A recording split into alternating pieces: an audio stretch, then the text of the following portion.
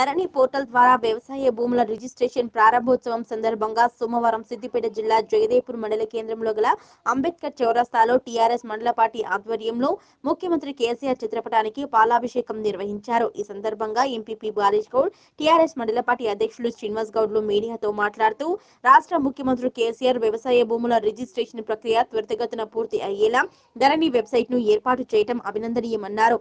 భూ రిజిస్ట్రేషన్ పట్టా మార్పిడి మ్యూటేషన్ కావడానికి నెలలు చేసేవని ప్రస్తుతం ధరణి ద్వారా కేవలం ముప్పై నిమిషాల్లోనే భూ రిజిస్ట్రేషన్ పూర్తయి పది రోజుల్లో పోస్టాఫీస్ ద్వారా ఇంటి అడ్రస్ కే పట్టా పాస్బుక్ వస్తుందన్నారు. కార్యక్రమంలో మండల కోఆపరేషన్ సభ్యులు ఇక్బాల్ టీఆర్ఎస్ యూత్ విభాగం మండల అధ్యక్షులు కొంపెల్లి కరుణాకర్ ఉప సర్పంచ్ల ఫోరం మండల అధ్యక్షులు Mallesham AMC director Yadagiri ward సభ్యుల ఫోరం మండల అధ్యక్షులు చిన్న సత్యం టీఆర్ఎస్ నాయకులు మునీర్ నర్సింలు హరిప్రసన్నారెడ్డి తదితరులు పాల్గొన్నారు.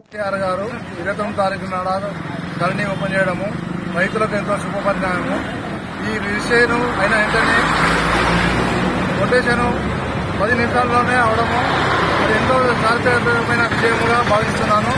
ఈ పాత రోజులలో రిజిస్ట్రేషన్ అయిన తర్వాత ఏళ్ళ బట్టి నెలలు కాదు ఏళ్ళు ఏడాది రెండేళ్ళు ఐదేళ్ళు పొడిని కూడా తిరిగి చెప్పులు అరిగి పటువారుల బాధలకు ఎంఆర్ఓ బాధలకు తట్టుకోలేక రైతులు ఎంతో బాధపడి ఆత్మహత్యలు జరిగినాయి. ఇప్పుడు అలా జరగకుండా కేసీఆర్ గ్రహించి అలాంటి పద్ధతులు మా పోవాలనే ఉద్దేశంతో దాన్ని ఓపెన్ చేసి పది నిమిషాలు ఇరవై అర్ధగంట లోపలనే రీసేన్ అయిన మొటేషన్ పాస్బుక్లో ఎక్కి పది రోజులనే ఇంటికి పాస్బుక్లో రావడము. మహారాష్ట్రలో ధరలు స్టార్ట్ అయింది. అందరూ రిజిస్ట్రేషన్ చేసుకోవచ్చు. ఇందుకు మన తెలంగాణ రైతాంగం ఎంతో హర్షించదగ్గ విషయం ఇది.